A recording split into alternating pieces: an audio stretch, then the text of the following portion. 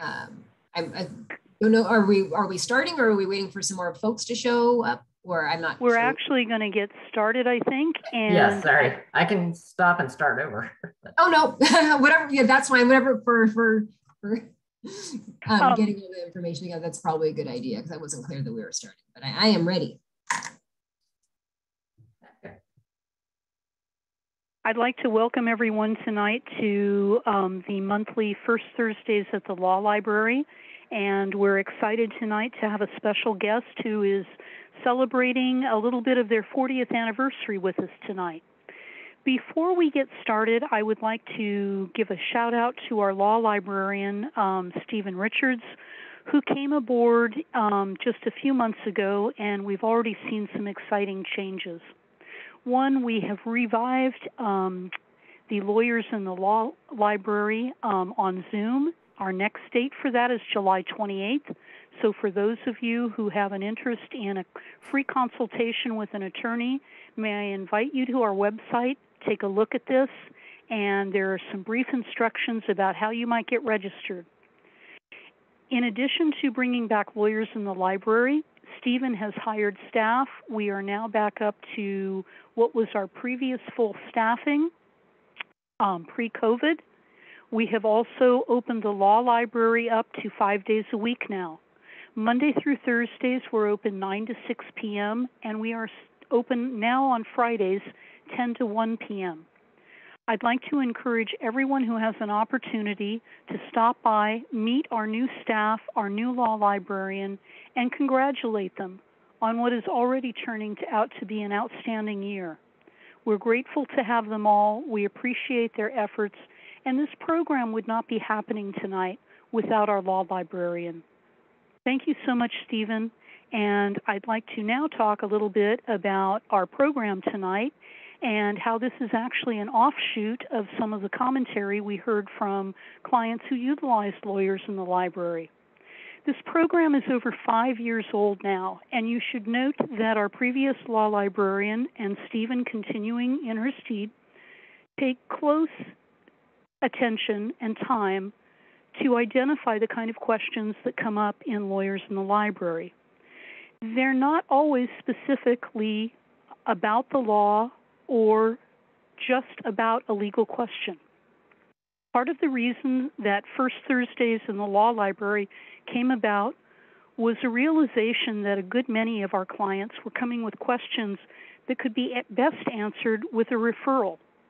That referral might better come to life if we actually invited some of the providers of services.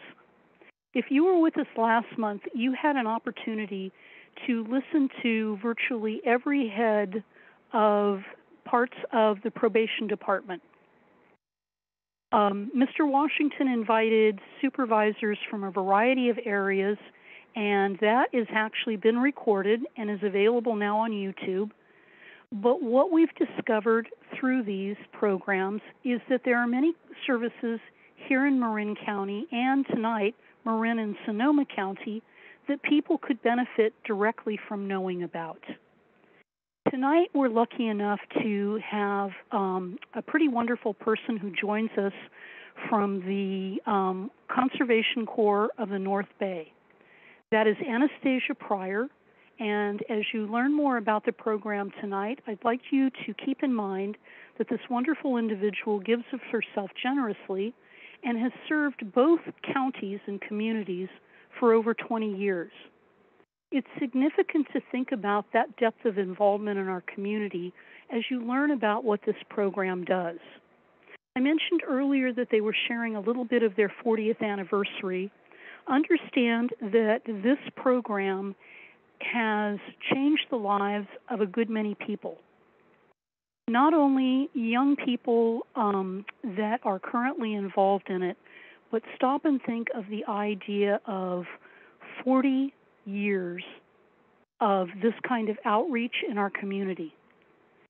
We're lucky in the sense that this organization, which works to develop youth and conserve natural resources for a strong, sustainable community, was founded all the way back in 1982 as the very first local conservation corps. This organization, and at some point we're going to give in and we're probably going to use some initials, so get used to hearing CCNB. But right now we'll still call it the Conservation Corps of North Bay, works with what we're calling Opportunity Youth, many of whom have been gang involved to help them explore environmental career pathways, as well as gain a broader understanding of their impact on the environment and on their communities. This organization has helped nearly 10,000 young men and women break the cycle of poverty through both education and job skills. And this has been done while serving the environment and community in the conservation services. Located right here in Northern California, this organization has provided service not only to the environment, but to community organizations right here in Marin and Sonoma. I'm going to take a no moment to bring this circle a little bit closer. For those of you who are familiar with the Marin Community Health Hub, they have a Thursday food bank on Redwood Boulevard from noon to 3:30. Keep in mind this is outside it's not always the best of weather. I can attest to that. It can be hot, it can be rainy. Unless it's terribly rainy, they won't cancel. But keep in mind a group of community volunteers who are joined, and this was my experience with this wonderful group that we're talking about tonight. These young men and women joined with other members of the community with these kind of tasks. They unloaded and supported food supplies. They packaged and organized food bags. They distributed and helped record the actual distribution to the community. They monitored during this time both pedestrian and vehicular traffic, helped set up the tables, take them down, and clean up in an area that actually sees healthcare patients while all of this is going on. Please keep in the back of your mind not only were four to six hundred cars coming through on every Thursday back in 2020 and onward, but these clinics were running Monday through Friday as early as 8 in the morning to as late as 7 p.m. on certain days. Medical, dental, lab, radiology work was all going on while hundreds of cars were being directed through a parking lot, given food, and sent on their way. This effort would not have happened without the young men and women that were contracted through Conservation Corps of North Bay by Marin County. That was my first personal introduction. I don't think I've ever been so impressed at what a seamless operation and good humor I had a chance to observe. As a member of the um, Marin Law Library board, one of our strongest desires has been to introduce to the community groups and organizations that can be of help to them. If this is the first time you're hearing about the Conservation Corps and you know a young man or woman who could benefit from an exposure to a group like this, may I encourage you to direct them to the video that will be available after tonight.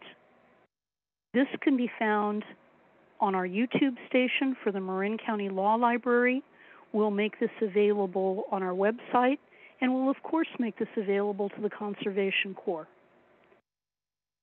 Without any further ado, I'd like to introduce Anastasia directly, thank her for her time, and ask her to tell us about this remarkable organization that she has the good fortune to represent. We're glad you're here. We thank you for your time and welcome. Thank you, Denise. That, that's quite an intro. I really appreciate it. And it's just, it's so nice to hear uh, your first experience encountering our, our crews in the field. And um, that's one of the things that we recognize when, when, when doing talks like these or various ones we do throughout the area is that if we start just prodding a little bit, we can see that many people in the community have had some experience with our crews, whether they've seen them out working um, or worked alongside them like you did. Um, but very few folks actually have, just from that one experience, the, the full understanding of everything that our program does. So I really appreciate the opportunity to, to come speak to the group um, and talk about that a little bit, especially as Denise mentioned that it's um, our 40th anniversary and we're, we're super proud of that. Um, so with that, I will, I will dive in here. So that's why I usually start with this slide. If I'm in a room full of people, I usually ask for the show of hands of who has some familiarity with, with CCNB, which I will now switch to the acronym because it saves time. Um, and there usually are a, a, number of folks, whether we're here in Marin or in Sonoma, where we expanded back in 2010. Um, but um, I usually start with that just to get a feel for the room. So thank you for setting us up that way, Denise. So um, from there, uh, I like to dive in and just say the, the, what we always lead with is we are a job training and placement program. Because uh, often when you're seeing young folks out in the community doing work like, like this um, Corps member here up in Tiburon uh, doing some, some fire fuel abatement. Um, those core members are out there gaining paid work experience as part of our job training model. So what makes that possible for, for us and is a significant portion of how our program is funded is fee for service partners like the County of Marin, the town of Tiburon, Marin Water, um, comparable agencies up in Sonoma County, um, hiring our crews to do work on public lands that they are already planning to do. Um, we'll go a little bit deeper into what type of work that is, but those, those organizations are hiring our crews to do that work. Um, and they're the ones paying the core member salaries and all the associated costs with that, which is great because um, they recognize that they're investing in the future workforce of, of our region as well. So when Corps members first join our program, um, and they are assigned to one of two different uh, tracks of training, um, so that um, they're the folks that Denise was working alongside with, which are actually our zero waste crew, and I'll talk about them in a moment. But then there are also our natural resources crews um, that do a lot of the trail work, fire fuel reduction, um, as part of gaining their paid work experience. And while they're with us, they're also um, they're getting the skills, they're learning how to show up on time, they're earning certifications, getting help with job placement, and I'll dive a little bit more deeply into that next. So starting with that natural resources training track, this is where the majority of our core members are because uh, it's where the most significant amount of work is available for our crews to perform in, in our communities. So we have partners, like I mentioned before. Um, in addition to those, um, we're doing a lot of work with our, our fire departments and, and the new Joint Power Authority that's helping prevent wildfire within the county, as well as the National Park Service, because we're fortunate to have um, national parks here in our county. But these partners are hiring our crews to do this type of work. So fire fuel reduction, working on trails, some really great habitat restoration projects, that we've done out at Fort Baker, uh, which is a, a, beautiful backdrop to go visit a crew in if anyone is ever interested. But um, we do habitat restoration there, removing invasive species, planting lupin, which is really great for the mission blue butterfly. And so the core members are out there doing this work that our partner agencies have already planned on, and at the same time learning about why they're doing it um, and just getting skills that they can apply to their future careers. So you can see here in this photo, this Corps member is actually working out at the Hamilton wetlands where we're working on a, um, a long-term habitat restoration plan there. So other types of work these crews do, creek maintenance, flood prevention, which is kind of hard to think about now when we're in severe drought, but usually severe floods follow severe drought. So we do a lot of work around that. Um, and we also contract with um, Caltrans, um, through the county of Marin to do a lot of the vegetation management and litter abatement around our highways and freeways throughout the county. So those crews accomplish a lot. So at any given time, um, over the course of the year, we serve approximately 200 young people across both counties. At any given time, we could have, depending on the busyness of the, the schedule, 90 active core members, which is usually in the summertime when there's a lot of work available. Um, and so there are crews all over doing all these different types of work throughout the year. And so you can see here the data that, that talks about the accomplishments that these crews do over the course of the year. So um, hundreds of acres of fire fuel reduction. It feels like this number goes up every year. Um, it's, a, it's a little bit of a, they feel like Sisyphus a little bit when they're doing their fire fuel reduction, but we know that we're protecting a lot of lands and doing important work on doing that. um, restoring the habitat, working on a lot of trails through Marin County parks. Um, this photo here is actually of a brand new park up in Sonoma County near Monte Rio. It's a, a tract of land that was added to the Sonoma County Regional Park System just in the past year. And core members are, are starting to prepare that for public use, which is super exciting. So um, we just now wrapped up our, our most recent fiscal year, so we will have new numbers here about the impacts on our community and environment coming up in the next month or so. Uh, but these numbers are based on the last fiscal year. So our mighty zero waste crew. So um, these are our core members that help with all the, the different types of recycling work that we do throughout the community. And the model of this team is a little bit different. Uh, they're primarily funded through a significant grant that we receive through Cal Recycle every year that essentially pays our crews to do uh, the collection of a variety of different types of materials for recycling. So under that contract is the traditional bottles and cans. Um, you've probably seen our core members if you've gone to any event, specifically the Marin County Fair, uh, which just wrapped up at the beginning of this week. Our crews were there doing all of the um, the waste management when it comes to recycling, composting, and, and garbage. So making sure people were putting things in the right bins, making sure there wasn't any litter around, um, collecting all of that and getting it back to our facility for sorting and sent on for recycling. They did that for the whole fair, so they're very tired.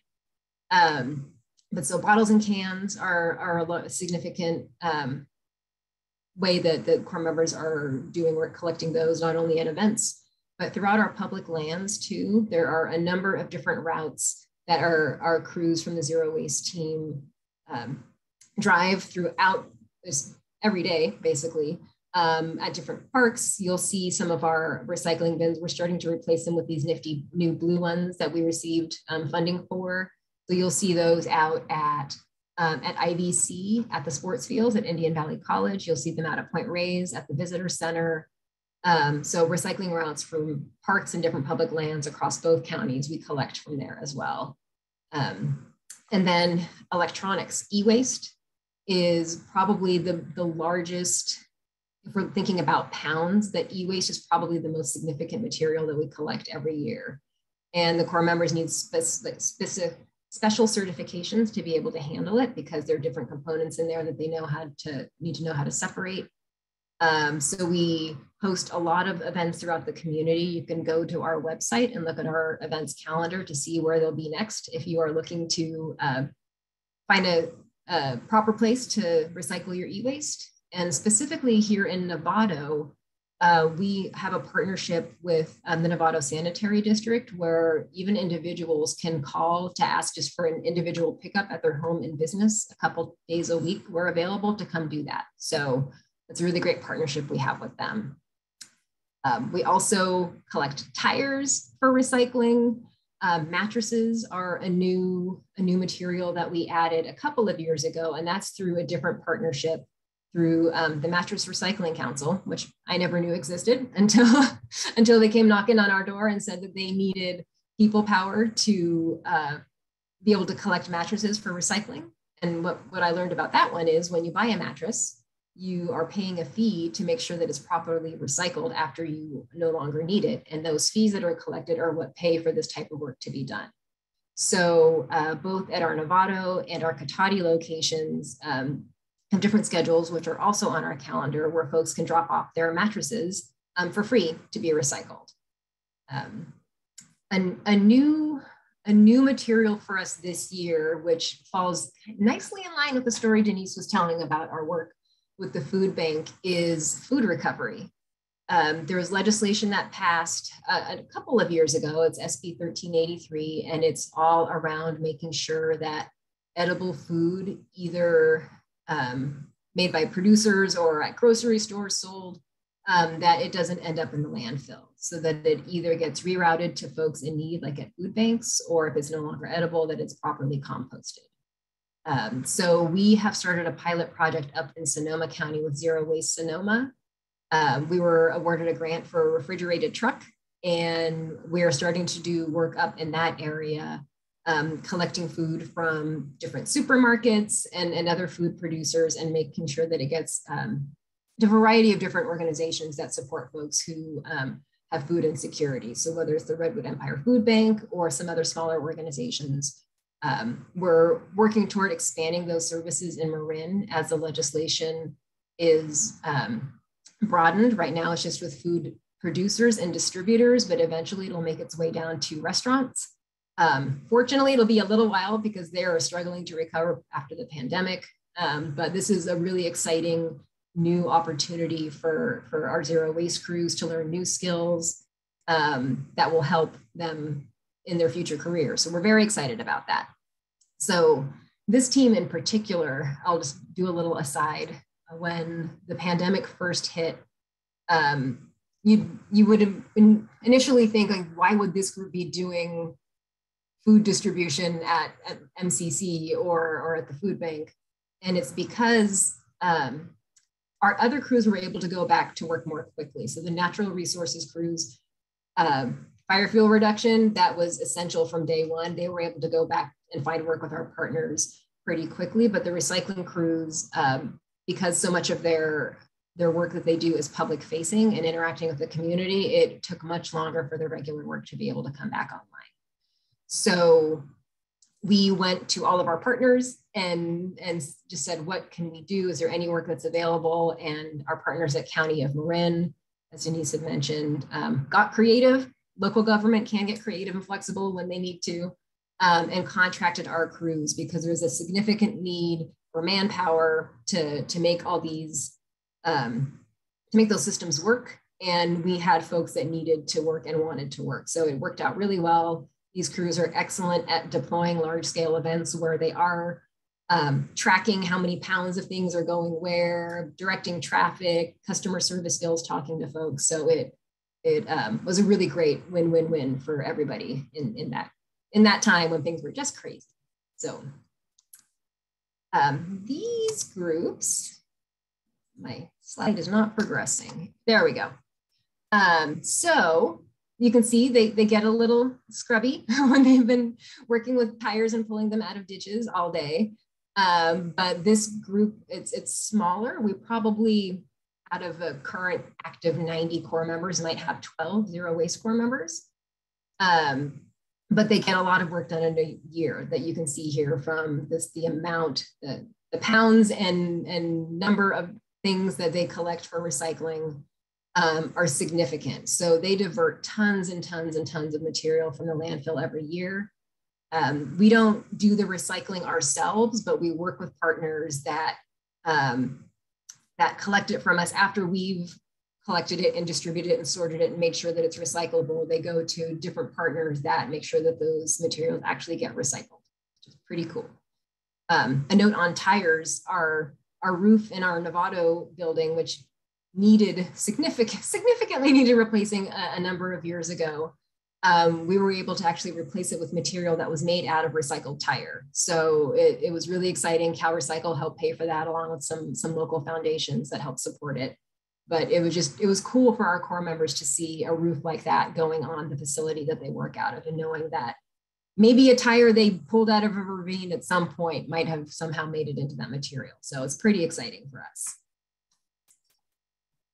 Okay, so that's a little snapshot into the types of work that the core members are doing when they're out in the field. So this is them getting their paid work experience. They're working eight hours a day, four days a week. They work Monday through Friday, getting paid, eligible for benefits um, if they need them. And they're also earning certifications, which we've over the years um, recognized are super crucial. Like the experience is great, but actually having a certificate for certain skills that you can learn while in our program um, can really help secure a job and actually secure a higher paying job. We were uh, a part of a, a, study that was done a number of years ago about uh, different job training programs like ours and what types of certifications we offer. And actually, the group that did the survey tracked specific certifications like through actual participants in our program into their job placement and did the math and determined that some of these actually yield a higher um, rate of pay per hour if that license is there versus if it weren't there. So um, we offer more than 30 of these skill-based certifications. A number of them are, are industry recognized, which means um, folks that like arborists, things like that. So our, our Sawyer certification is industry recognized. So you can't just say, oh, I've got this certificate. It, it there's certain criteria that a core member has to accomplish, a number of hours working the chainsaw um, for them to earn it.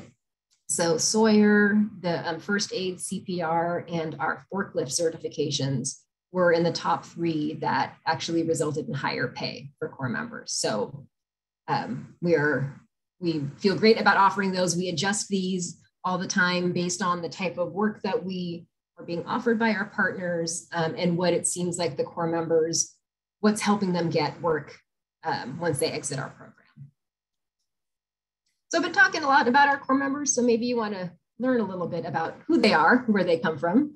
Um, so I always like to pause here and just talk about that a little bit. So um, we serve a, a, very diverse population, as you can see um, from the upper left-hand corner of the screen, um, especially in Marin. Um, most of our core members are, um, are Hispanic or Latino. Many are learning English. Many are either immigrants themselves or are from families that recently immigrated. Um, and we'll talk a little bit more about additional services that they might require because of, of when what they need when they come into our program.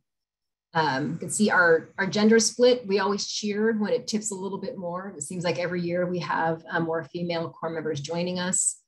Um, the age range will pretty much always be this age range because of the requirements that we have, we are certified by the state of California to be a local conservation corps. And there's certain requirements, age requirements, and things like that of those that we serve that we have to stay within. So um, that is ages 18 to 25. Um, we, we can go above 25, and you can see that we do from, from how the split looks there at, at the age at entry, um, but those don't count toward our certification. So either way, you can see that young people that enroll in our program skew younger. Um, you can see most of them when when they've they've come to us um, have aren't working or maybe haven't had a job um, to date. Um, most come from a low income background. Many need to complete their high school diploma still, and a lot of that um, has to do with different societal barriers that they've had a challenge to overcome. Um, many have had to choose between work and school if their family was in a specific situation um, many of our Marin Corps members, even if they had a diploma um, where um, many have actually come from Guatemala. So say they got their diploma in Guatemala, the units don't necessarily transfer here and they need to start over. Um, so there are some significant barriers to achieving financial independence for, for the young people when they join our program. Um, but I always like to have my, my positive slide in the lower right-hand corner is that they're joining because they want, they need help and they want the help to overcome those barriers because they they want to improve their skills once they've they've come to us. So um, that's an important question for us to ask. We want to make sure that they want to be there um, while they're joining our program. So to help with some of those barriers that I was just mentioning, we have a whole other side of our programming um, of wraparound services. So um, the, the first largest areas you could see where more than half of our members when they join us still need to complete high school is accomplishing that. So we do that through our partnership with the John Muir Charter School. They specialize in working with adult learners. And this is another um, benefit that we have of being a certified core is um, because we meet the criteria for that certification, we're able to offer a full high school diploma for folks who aged out of the traditional high school system. So you can be 20 and join CCNB and get a high school diploma versus a GED.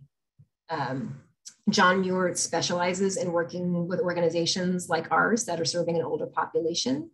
And we have campuses both at our San Rafael location um, and our Cotati location. And we also um, are the nonprofit partner for a standalone school of John Muir's up in Santa Rosa.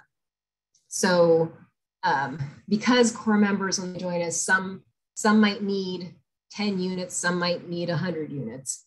Uh, they all work with their teachers and have specialized plans to accomplish those goals. um, as I mentioned, a lot of our core members, especially in Marin, um, when they come to us, need to learn English first. So that makes it even more tricky and um, a little bit more of a challenge. Usually those core members stay in the program a little bit longer. Um, the program is designed for a year, but on average, young people stay with us probably up to 14 months, depending on what their needs are. So um, through the, the school partnership that we have, and it's on site, which is great. Um, so on that Friday, when they're not working, um, those that need to complete school are, are in, in classroom full time on Friday, and they do work um, towards on their own um, on their own time as well for some of the, the assignments that they can do, they can do on their own self-paced. So we help them accomplish those goals.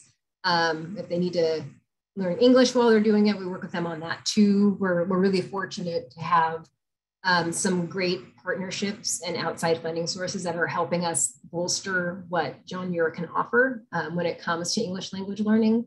Um, and we have been implementing that over the past year or so. So um, one of the things that we're doing in that way is working with um, Dominican University because they have a fantastic credential program. And uh, students in that program need to do their service learning hours. And so we've met with Dominican and asked them to refer um, those in their credential program that are going to be working with bilingual students to come do their service hours with us. And so we're, we're working on getting that implemented this year. So the other big piece, so we call this the glue. The, the glue of our program is our career pathways program. So where our um, fee for service partners and our all the municipalities and then the different government agencies that hire our crews um, to do that work are paying for that portion of the program. The career pathways program part of the program is the wraparound services, and that's supported through contributed income. So we have a nice balance for our whole funding model. Um, so this piece is um, our small but mighty career pathways team, and we have a separate team in, in each county because uh, there are different needs um, for our corps members in each county. Um, that from enrollment into the program all the way to job placement and follow up, they've got the same team that's supporting them. So um, when they enter the program, they have their initial assessment with their um, career pathways coach. Um, that helps them set their goals, determine uh, what kind of career interests they have, um, offer workshops if they're not sure what they want to do, um, figure out what barriers they might have to overcome. Transportation can be a big barrier. Um, childcare can be a challenge too. Um, we basically want to help with those as much as we can, or we refer out to other agencies that, that specialize in some of those services so that we can ensure that a corps member can stay in the program and get the full benefit of it um, and not and not bounce out early, which some do. Um, I'm not going to pretend like everyone joins and is successful all the way through, but we do have some great success rates that I'll talk about in a moment. But that career pathways team does follow them all the way through their path um, at CCNB, they do it through all these different types of, of services. So workshops where they learn um, soft skills um, interview skills, how to do a resume, um, how to problem solve, all these different kind of soft skills that many of us also need to learn by field, but we didn't necessarily have all the barriers to employment in the first place. So we try to provide all that to our corps members while they're with us. Um, and just digging more into what their interests are, what are their career paths, what, what are there certain certifications or other things that are required by a career path of their choice that we don't offer and how can we help them get access to that so um, this is also where if the need should arise um, for any kind of legal support um, it would be this team that would refer corps members out to different programs that could potentially help with that but so far i think we, we've needed to do it from time to time but um, it's not an ongoing challenge so it all depends um, it's probably a good spot to to mention that our corps members, we are continually enrolling. So uh, we might have corps members right now who are getting ready to complete the program and start a new job. But in the same day, we might be onboarding five or six new ones. So we're continually working with young people that are in different phases of their um, career development um, and working their way through the program. And we balance that with knowing how much work we have planned with our partners that hire our crews. So it's a big, big thing to manage, but we keep it in balance pretty well. Um, so uh, this team also so follows corps members all the way through, helps them with job placements, um, and even follows up afterwards. So we have systems in place where we follow up with corps members for um, up to two years after they've exited the program, just to make sure that they're happy where they are. Do they need more support? Sometimes you can be working toward a job and you land there and you're there and you're like, what am I doing here? This is not right for me. So we we we help um, navigate that if that's a challenge for them. And then the outcomes. So um, with all that work that, that happens throughout the year, both, both on the part of our staff, but also on our corps members, um, we have some pretty great outcomes that uh, we continually watch. We have a really spectacular um, evaluations team. We have two, two, a small but mighty evaluation team that tracks all the data that I've been sharing today. So whether it's the, the, the pounds of bottles and cans that we that we collect to everything about our corps members while they're on their journey with us. Um, and so we collect that information not only to be able to share it with folks like you and our partners and our funders, but also to help guide our work. Um, it's helped us analyze our data over time to determine what corps member success looks like, um, knowing that that's different for every corps member. Um, there are different gauges that we watch over time. We look at our data three or four times a year to make sure it's still stable. And if something doesn't look right, we all talk about it as a group and look to see if maybe we need to adjust our program or if something's happening there. But we've we've got it down to a pretty good system. Um, and you can see here from the outcomes that our corps members are, are, are doing really well once they exit the program. So um, they're earning on average at least three certifications before they go. Um, nearly 80% when, when they complete CCNB are in living wage employment or continuing on into a different training program or back to school if their, their goal is college. Um, and their wages after placement are just, they're, they're great. If you think about that a young person comes to us when they aren't working at all or might not have ever had a job. Um, when they're with us, they we pay higher than minimum wage. Uh, we stay ahead of that and make sure that wage, starting wages go up every year as, as the state keeps um, bumping up the living wage or the minimum wage, which we agree with, but we just have to budget for it. Um, so they they make decent money when they're with us, but our goal is to make sure that they can live on the money that they make when they exit, and and we're we're accomplishing that. So we're pretty proud of that.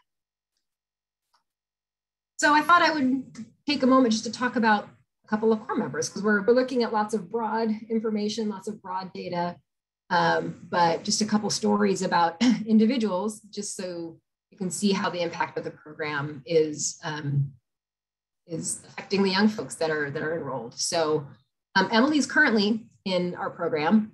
Um, she's on our zero waste crew, and she has been with us, I want to say, a little bit less than a year. Um, so she works out of our Novato office. I don't talk about that one too much, but that's where our recycling team works out of here in Marin. So we have San Rafael location, our Novato location, and our Cotati location. Um, so Emily works out of uh, Novato, and she came out as a leader pretty quickly after joining. So she's one of our corps members who, who's working on her English language skills. And she's become a leader among um, her team and her crew and her classmates, um, not only showing how quickly her skills are improving, um, but encouraging others to do so as well. Um, she pretty quickly uh, advanced into assistant crew leader position um, and is earning certifications left and right. So a, a, funny story is I was was meeting with with a community member and we could see out the window of the office that we were sitting in and I'm telling him about as you couldn't have planned it. So I'm telling him about, about all the certifications that, that corps members can earn. And he looks out the window and he sees Emily on the forklift moving a mattress um, that someone had had dropped off and she's taking it back to the warehouse. And so he just stopped, like he interrupted me. He's like, is she driving a forklift? I'm like, yeah. And he's like, is she okay doing that? We're like, yeah, we don't let them do that by themselves until they've gotten the certification. Um, but it was, it's just, it's, it's nice to see because we see it every day from a staff standpoint, but to have a community member there, just seeing a young person and particularly a woman um, wrangling a mattress with a forklift was, was pretty cool. So we also, talked to her a little bit afterwards. We went and took a tour of, of the facility, and um, she was great. I mean, she it, it takes a lot of courage for our corps members to talk to, to strangers, and we only ask them to if they're comfortable doing it. But um, she just shared about her experiences here, um, and that really one of her goals is to become a crew supervisor, a staff person at CCNB. So um, we will help her toward that. Um, we're, we're really proud to say that a good number of our staff actually are former corps members um, and from like across almost every department and different levels of staff all the way up to management positions. So um, we're really proud that for some of those positive outcomes, it's it's corps members who came up through our program that want to continue to work here and help others come up behind them. So we're pretty proud of that. So that's Emily's story. And then Michael. Michael is another fantastic success story. So um, he actually joined us right at the beginning of the pandemic. so he joined us in March 2020 um, and was another, another one of the young people in our program who just really quickly started taking on leadership positions. Um, pretty quickly became an assistant crew leader, um, he worked actually on both sides of our training track. So in our natural resources uh, department, as well as our zero waste. Um, he continued to grow, started to um, get more skills, was trained into a driver position so that he could actually do some of the driving for the routes, collecting some of the recyclables, um, also earning a bunch of certifications along the way. And um, we're happy to report that actually it was just a couple of months ago, um, he secured a really great job through Clean Harbors, uh, which is a new partnership of ours.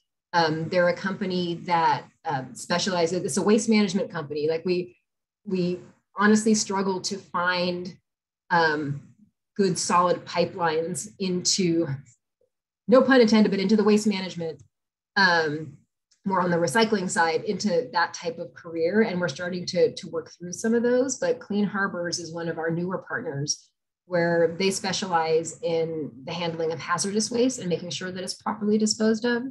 And they um, hired Michael and actually his buddy Victor there, who's also in the photo. That that's their after photo. They were very proud to take in front of one of our recycling trucks. But um, it's just Michael's a, a great story of someone who, who took a little longer with us. He was with us for about two years before um, finding really what he wanted to do, but he he worked through our program. There are opportunities for, as I mentioned, um, different roles like leadership roles within the crew.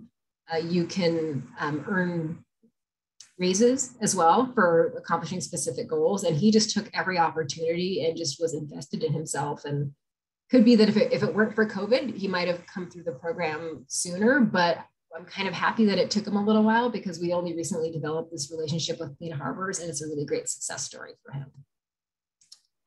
So um, these are just a smattering of the different uh, companies and agencies that have hired our corps members. And one of the things that you can see is a common thread going through is you might recognize some of the logos from some of the partners from previous slides is uh, partners who hire our corps members to do work um, on specific projects while they're at CCNB often hire our corps members permanently as staff as well.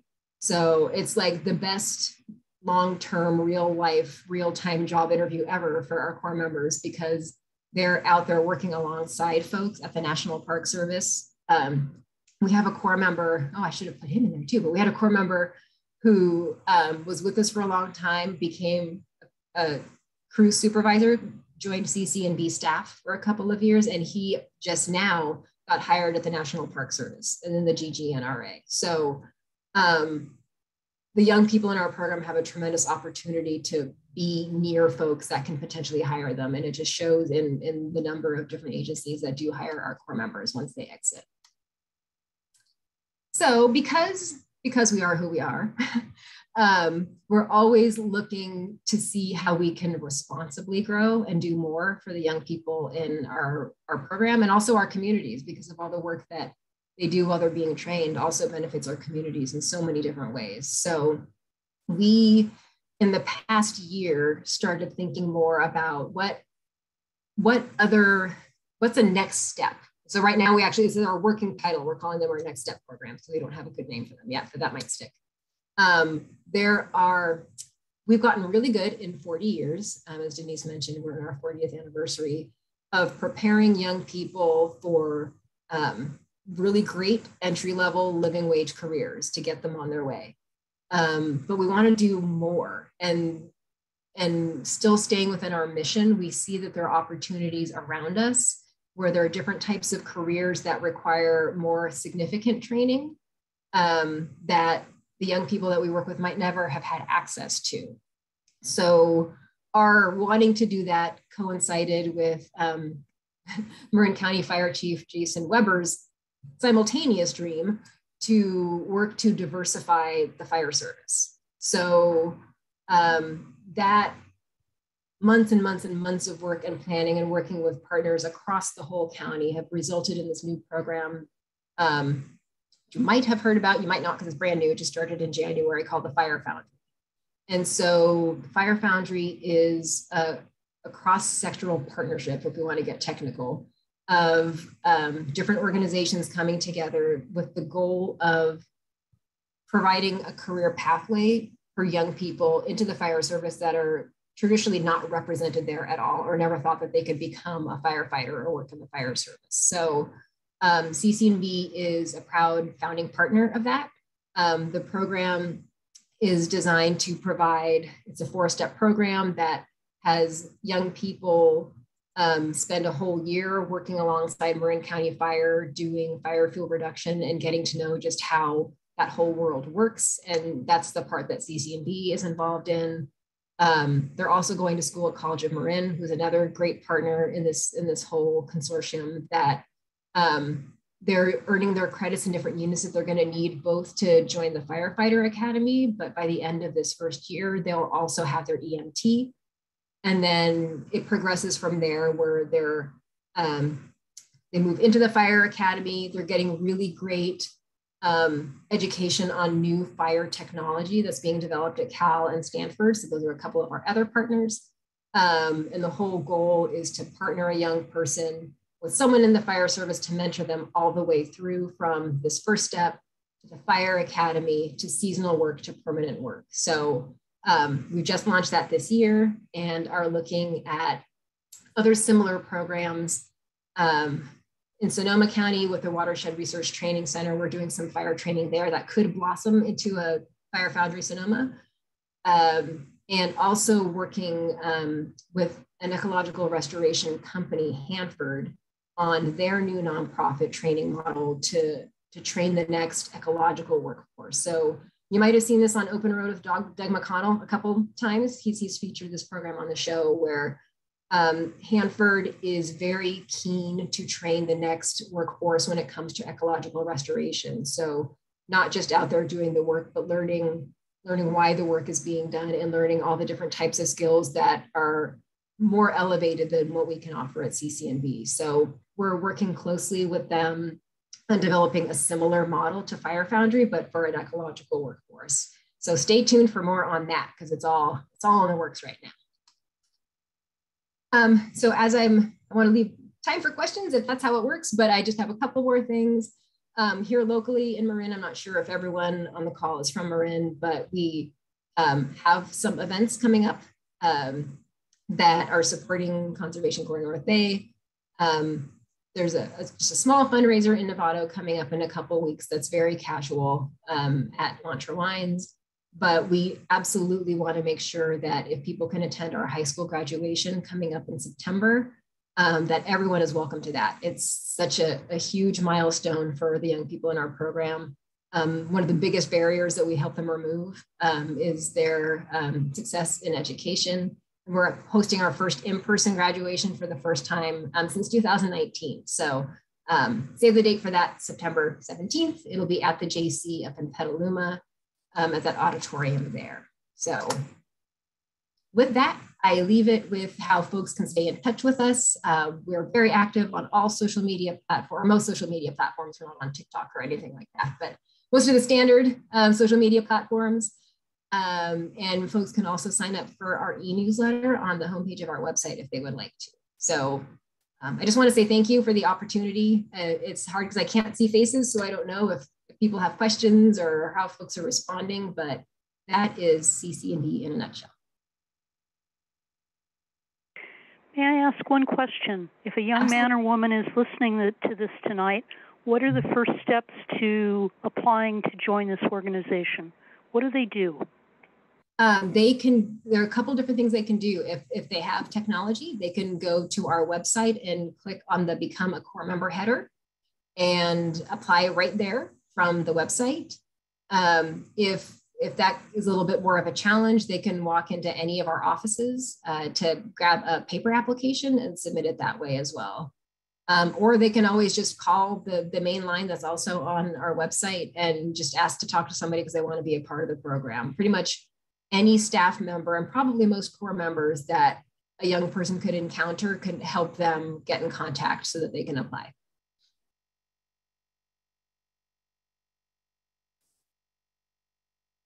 Stephen, do we have any questions? Uh, not this. Oh, there's some thank yous. I see them. You're welcome. Thank you for having me.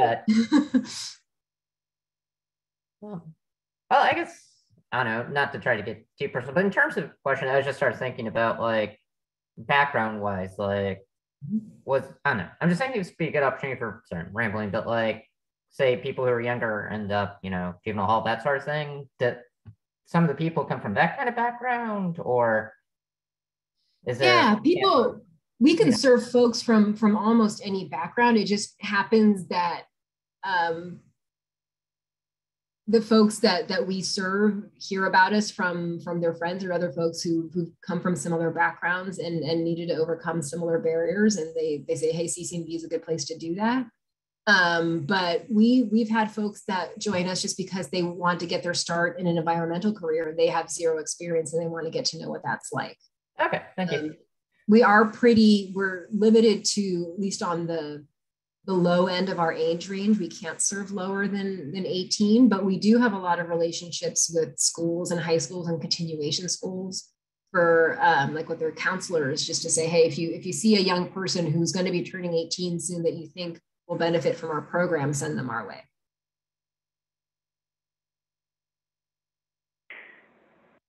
I'd like to mention something. When I was doing research about the organization, I ran across something that I was really impressed by.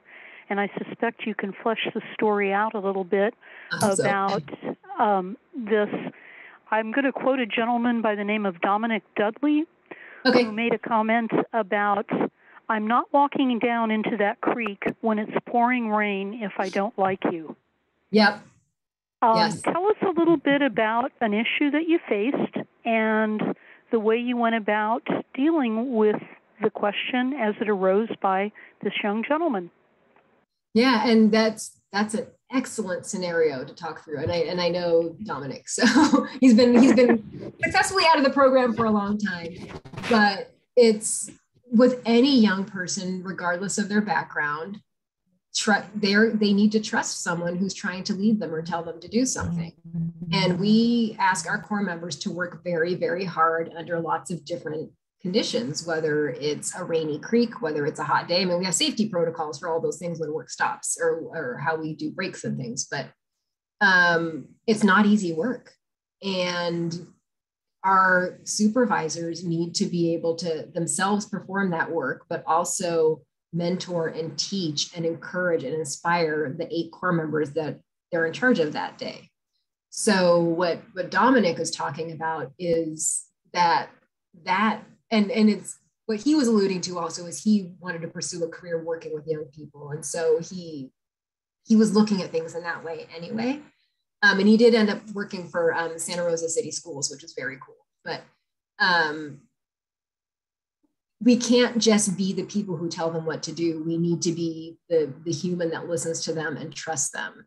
And one of the, the things that we've done for several years now, I'd say at, at least close to the four years that I've been here, is really invest in training in our supervisors. So for the longest time, we probably relied on our career pathways team to do the warm and fuzzy emotional, are you okay side but then looking at how much time our corps members spend with their supervisor, they spend more time with that person than anyone else in the company.